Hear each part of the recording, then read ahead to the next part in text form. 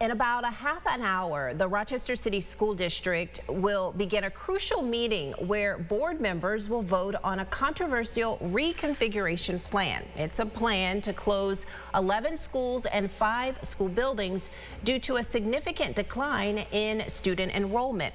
Jatira Marsh is live outside the voting site to give us a recap of what we know so far. Jatira. Teresa, uh, yes, I'm in front of East High School, and as you mentioned, just under 30 minutes away from the board meeting to begin this vote. Now, last week, parents, teachers, and students gathered to be a part of the second community-wide conversation to convince the district to keep these schools open. The community citing concerns ranging from location inconvenience, emotional ties, and questions of employment. Camille Simmons, school board commissioner, says when looking at the proposal and the issues at hand, the plan seems seems essential.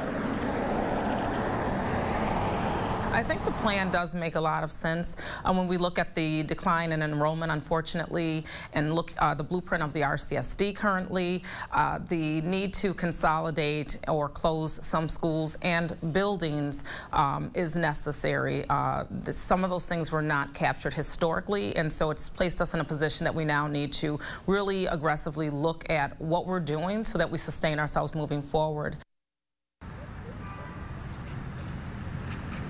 Simmons says if this plan were to go into action, that things wouldn't take place until 2024 with the decision of what schools students would attend happening in July. Live in Rochester, Jatira Marsh, News 8.